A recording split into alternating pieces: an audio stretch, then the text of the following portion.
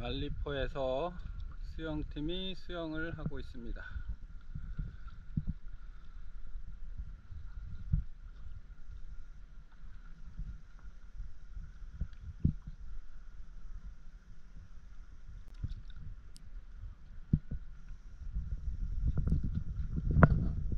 히피코리아 카야킹